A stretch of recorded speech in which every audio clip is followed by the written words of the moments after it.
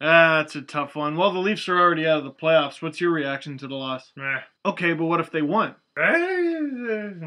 You ready? Ding ding. Big news. What? Oh, seriously? Uh, no pigs yet. What? Uh, what was he doing? Wow. Bring him on. Beautiful. Leafs lose 4 to 2 to the New Jersey Devils. Two teams that probably know better than anyone that two points in October is just as good as two points in April. And in this one, the Devils just outplayed a team that looked tired and had the wind taken out of their sails. Yet another back to back with travel for the Leafs. You know, I like baseball, but there's a lot of things set up about the MLB that I hate.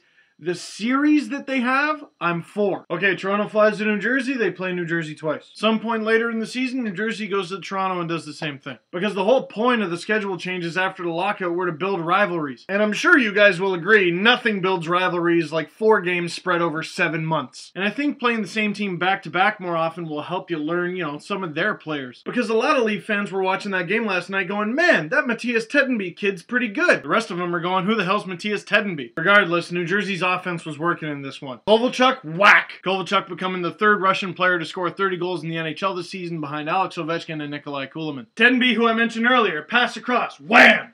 Yeah, I'm wearing skates. It's the second last video of the season and the Leafs lost, okay? Wow. And about a minute later, James Reimer not getting a whole lot of help in this one. Tallinder, wham. 3 nothing. And Giguere comes in and plays the third period, and damn it, good for Giguere. Because I know it's the second last game of the season. I know the pressure's off for the Devils because not only are they out of the playoffs, but they have a 3 0 lead, but he played solid, which ended up making the game pretty interesting. Because on the power play, Joffrey Lupul, nice pass over to Phil Kessel. He shoots, that's his 31st, and the Leafs are now down 3 to 1. Lupul continues to kill it, and Phil Kessel now has 29 points in his last 28 games. And let me just repeat some things I've read in the blogosphere and Barilkasphere over the last little bit. When Phil Kessel stunk, it was his fault the Leafs stunk. He's producing and the Leafs are doing great. Nobody mentions the guy. And I've said this before if you're going to kill a guy in the media and he deserves it, fine. But when that guy you criticize turns it around, you better give him the props he deserves. Now the Leafs down 5 on 3 and Tyler Bozak's got the face off. Gets the puck and with blazing speed manages to pull off a breakaway. Dangles the jock off Martin Brodeur, who had a fantastic game by the way. And you know what? I'm writing a preliminary list for the Leafs play of the year, and I thought I was done, but you know what? That's going on the list. And what makes that even more amazing, think of how long the Leafs have been around. Tyler Bozak is just the second ever Toronto Maple Leaf to score on a 3 on 5. And Bozak, for the most part, hasn't had a very good season. His confidence has seemed low, but that's a damn good feather to put in your cap heading into the summer. To be able to say that he's done something that only Darryl Sittler has done in a Leaf uniform, that's huge. However, much like the Leaf season, the Leafs come close to the comeback, but not so much. Patrick Elias scores on the empty net. That's all she wrote. Now I'm going to ask you a two part question of the game here.